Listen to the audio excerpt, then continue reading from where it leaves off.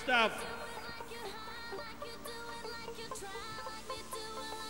We just keep lifting the bar high, ladies and gents. Here at the Orient, our next singer.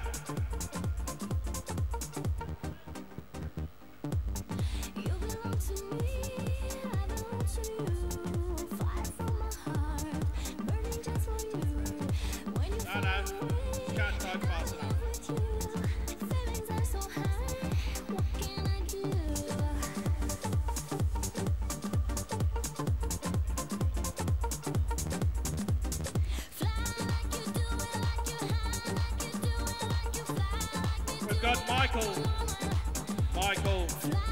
The person Michael.